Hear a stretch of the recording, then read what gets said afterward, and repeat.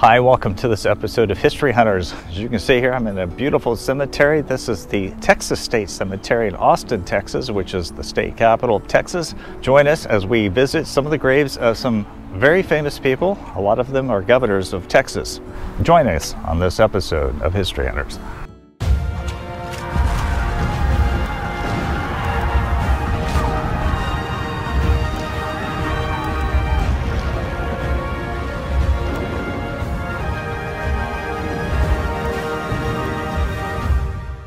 I spotted this grave from a distance because of this fantastic artwork.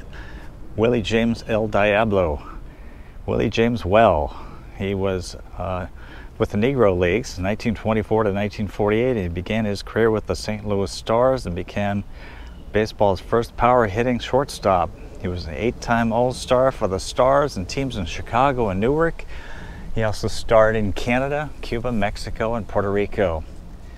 He was also in 1997 inducted into the National Baseball Hall of Fame in Cooperstown, New York, joining other Negro League greats.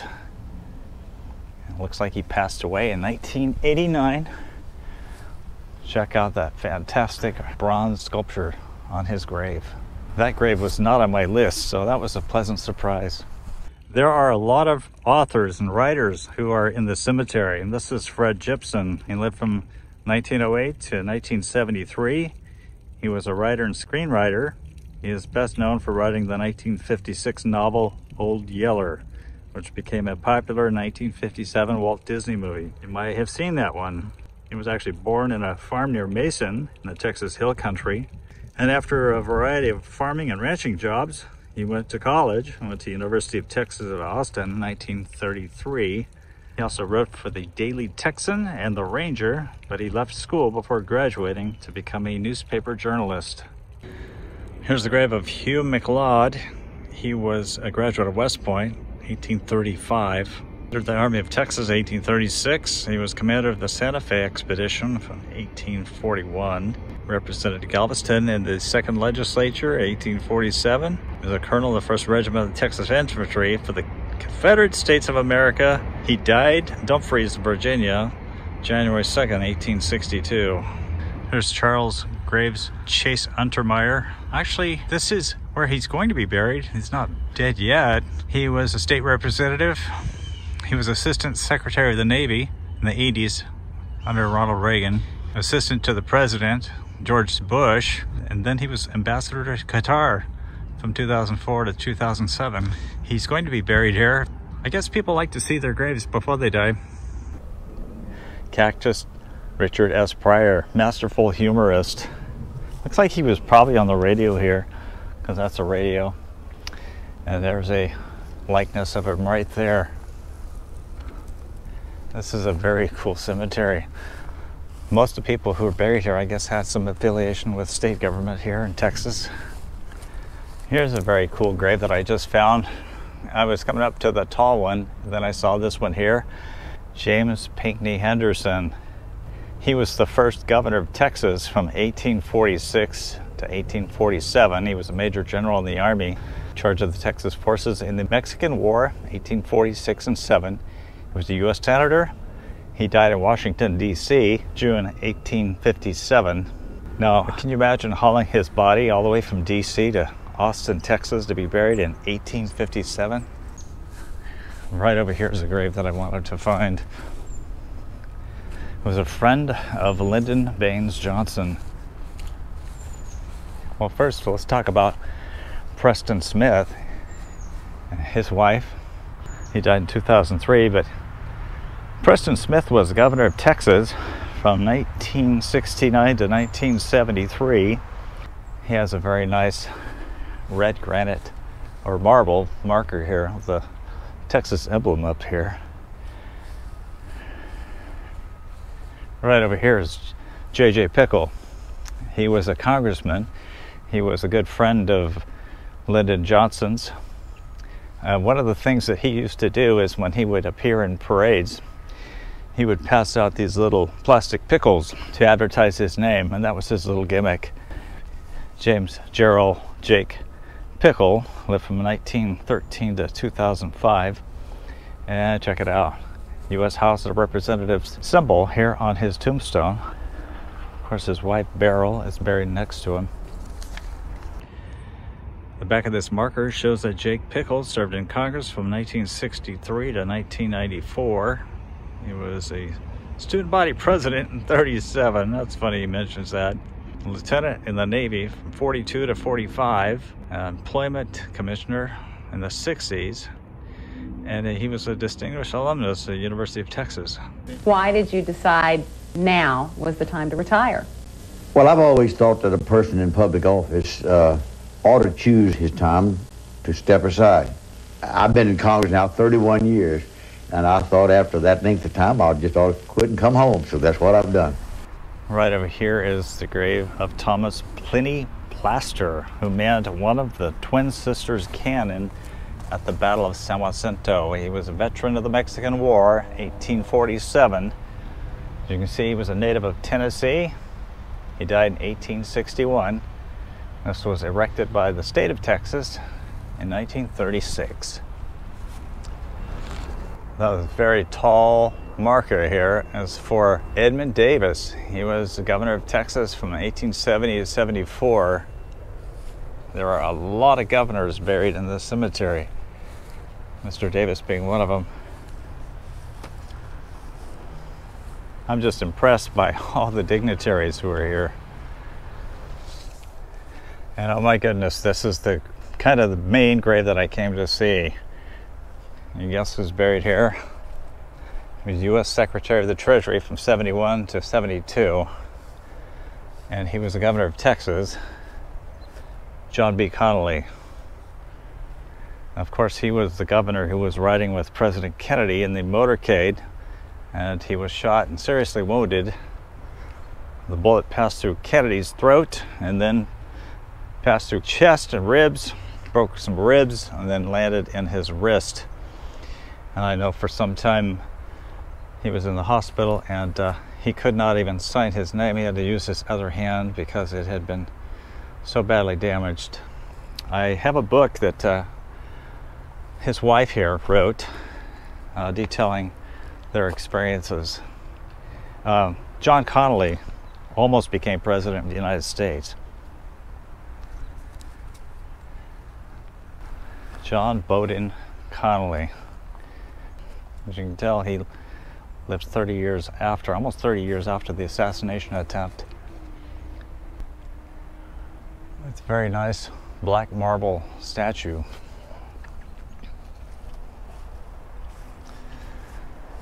Oh, he's got some verbiage in the back here. It's not the critic who counts, not the man who points out how the strong man stumbles or where the doer of deeds could have done them better credit belongs to the man who is actually in the arena, whose face is marred by dust and sweat and blood, who strives valiantly, who errs and comes short again and again, because there is not effort without error and shortcoming, but who does actually strive to do the deeds, who knows the great enthusiasms and great devotions, who spends himself in a worthy cause, who at best knows the end of triumphs of high achievement, and who at the worst, if he fails, at least fails while daring greatly so that his place shall never be with those cold and timid souls, know neither victory nor defeat. Theodore Roosevelt. And as you can see, it was used in the eulogy of John Connally. Though gravely wounded during the assassination of President John F. Kennedy on November 2, 1963, Connally recovered to complete three terms as a popular governor whose enduring legacy is for the placement of education or the advancement of education for all Texans. Now, probably a lot of you don't know that in 1973, Spiro Agnew, because of scandal, resigned as vice president and Nixon accepted the resignation. It was then his duty to appoint a successor, a new vice president. He ultimately picked Gerald R. Ford, and then you know in August 1974, Nixon resigned from office himself, Ford became president.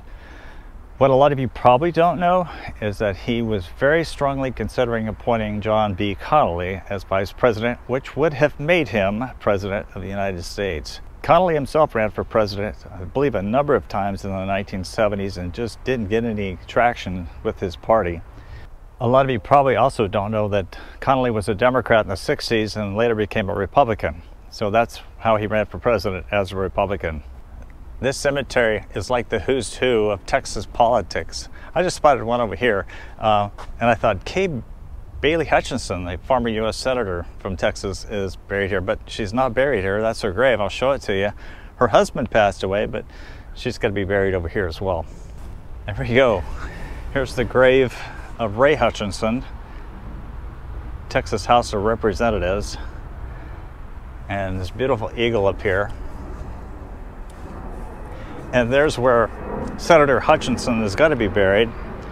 Uh, she served in the U.S. Senate. She is not deceased yet, but you may hear about her passing, and this is where it's going to be. They loved and served Texas.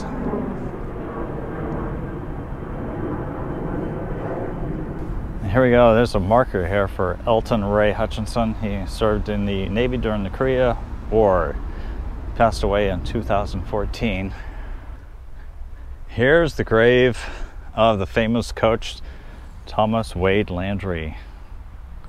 I like how people who served in World War II always make it a point to let us know that they served. He was a first lieutenant in the Army Air Forces in World War II. Of course, there wasn't an Air Force per se back in World War II. It was called the Army Air Forces. Apparently, this airport is right underneath the flight path for the Austin airport.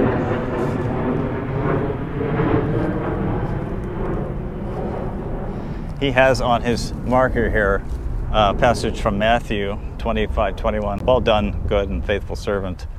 Tom Landry, who was a professional football player and coach. He was the first head coach of the Dallas Cowboys in the National Football League, position he held for 29 seasons. During his coaching career, he created many new formations and methods, such as the now popular 4 3 defense and the flex defense system, made famous by the Doomsday Defense squads that he built during his tenure with the Cowboys. His 29 consecutive years from 1960 to 1988 as the coach of one team is an NFL record, along with his 20 consecutive winning seasons, which is considered to be his most impressive professional accomplishment. Tom Landry, ladies and gentlemen. And there's this trademark hat that he always wore. Sure that they engraved that on his tombstone because it was a very, very familiar trademark of this coach. Memory of a pioneer patriot and statesman, Ashbel Smith came to Harris County, Texas in 1837 from Connecticut and was appointed Surgeon General of the Army of the Republic. He was Minister of France from 1842 to 1845. He joined General Taylor's army in 1846 in its march upon Mexico. He was colonel of the 2nd Texas Infantry, the Confederate Army. He served in the state legislature in 1866. That's one that I did not expect to find. There's just so many graves here that there's no way I'm going to be able to get to it. But this is definitely one that I just spotted I need to get to. It's funny that the claim to fame here is a teacher. This, of course, is the grave of Barbara Jordan. 1936 to 1996.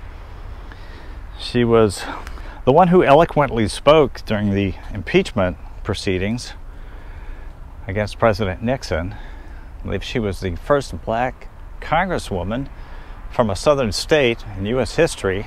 She was also the first lesbian legislator. You may remember her eloquence when she spoke. Barbara Jordan's right here. And right over here is the grave of Stephen Austin. He is probably the most famous grave here. And it's got a little marker down here. Talks about how he was born in Virginia in 1793 and he brought the first 300 Anglo American colonists to Texas in 1821. He became known as the father of Texas. Shortly after his appointment as Secretary of State of the Republic of Texas, Austin died of pneumonia. He was originally buried at Peach Point, Texas in 1836, and his remains were brought to this cemetery in 1910 by an act of a governor. Bronze sculpture was completed at the same year in 1910. That goes back to. Let's go around to the front so I can show you what this looks like.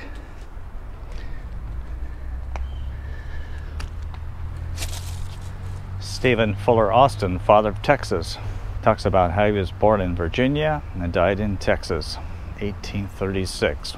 Wise, gentle, courageous, and patient, he was the founder of a mighty commonwealth. Stephen F. Austin. Entire town's named after him. I understand at one point this cemetery was in pretty rundown condition. Governor George W. Bush and his lieutenant governor helped push for the renovation of the cemetery, and it's really a beautiful cemetery. And you can tell that a lot of these older markers, uh, maybe they're gone, but there's a lot of newer markers for people who've been here for quite a while. August Buchel, I guess I'm saying that right, killed at the Battle of Pleasant Hill in Louisiana, April 15th, 1864. We know that those who for their country die through glory live again immortally. A bred an officer of Germany, an officer in the Foreign Legion in France, knighted by the Queen for gallantry in the Carlist War in Spain, also a Pashan in the Turkish army.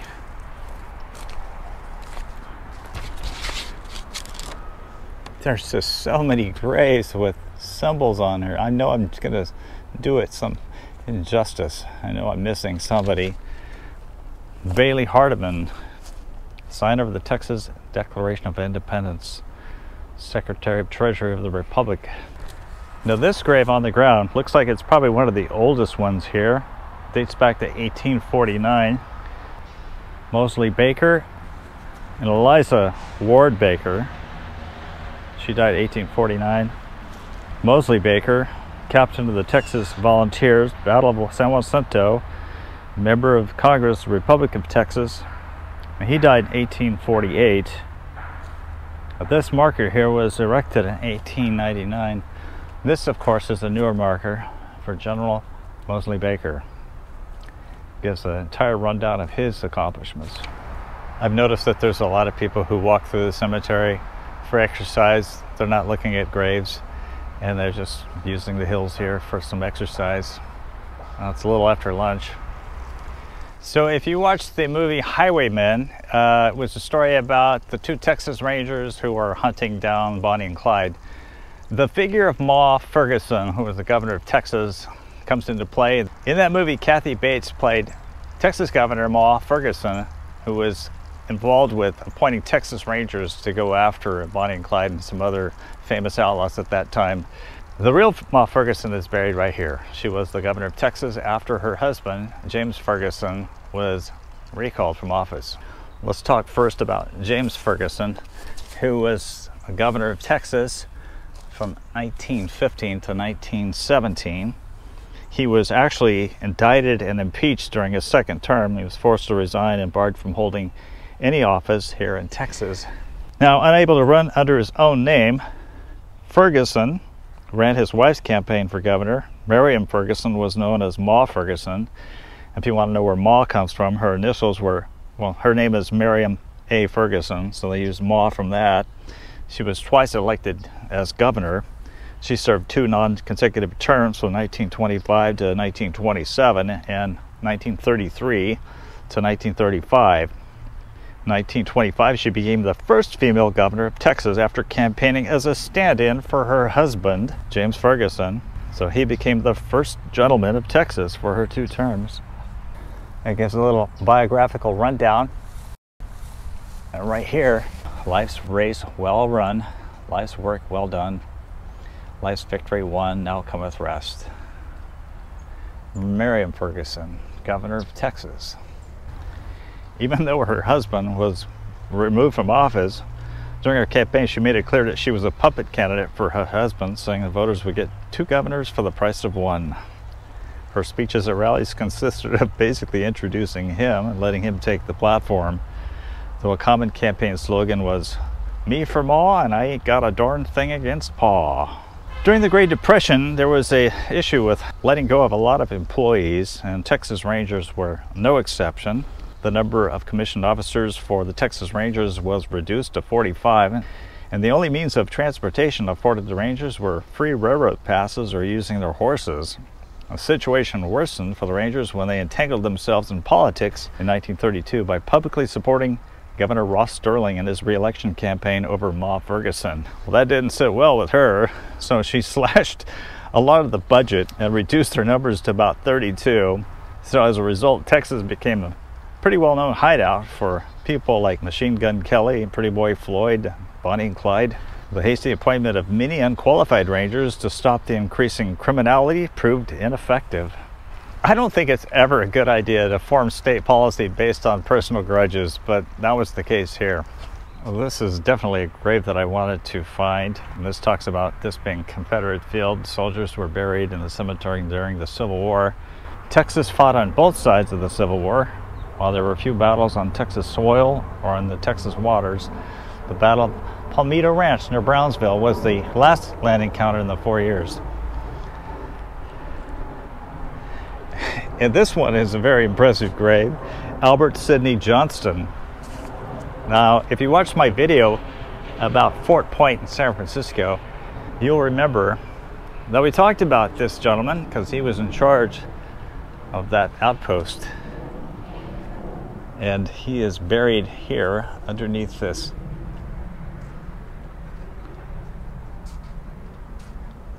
marble statue of him lying in a grave asleep. That is one very strange thing. Now, he was a general in three different armies the Texian Army, the U.S. Army, and the Confederate Army. He was in the Army for 34 years. He fought in the Black Hawk War. He fought in the Texas War of Independence, the Mexican American War, the Utah War, and the Civil War. He was considered by Jefferson Davis to be the finest general officer in the Confederacy. Before the emergence of Robert E. Lee, he was killed early in the Civil War, the Battle of Shiloh, on April 6, 1862. Davis believed the loss of General Johnston was the turning point of our fate. Stuck my camera through the bars here so you can get a better look of the intricacies here. Shows him dead in marble. Right there is the grave of John A. Wharton, who was a Major General of the Confederate States of America. He died April 6, 1865, very close to the death of Abraham Lincoln. So he came to Texas from Tennessee. He was a prominent orator, jurist, and prosecutor.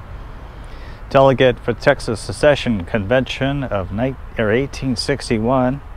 He joined the Confederate Army as a captain in Company B of Terry's Texas Rangers. After Terry was killed, Wharton elected colonel, and he led his famous regiment, the Battle of Shiloh, in the Kentucky campaign of 1862. He was twice wounded and made brigadier general for bravery. After brilliant fighting, Chickamauga campaign valiantly led cavalry corps Red River campaign to prevent invasion of Texas in 1864. You would think that this is Hollywood because I've had, I don't know, multiple tour buses come through here. Guy that's doing the history is telling the stories that I'm telling you, only you're getting it for free. That's what History Hunters is all about. You country western fans probably recognize this name, Jerry Jeff Walker, a gypsy songman. No one else could sing the songs he sung. Lived from 1942 to October 2020. He died, looks like, just a week before my mother passed away. And his wife is still living. Jerry Jeff Walker was a leading figure in outlaw country music movement, best known for having written the 1968 song Mr. Bojangles. Now, a lot of people may know the song Up Against the Wall, Redneck Mother. It's his song. His mother made the big boy what he is. And it's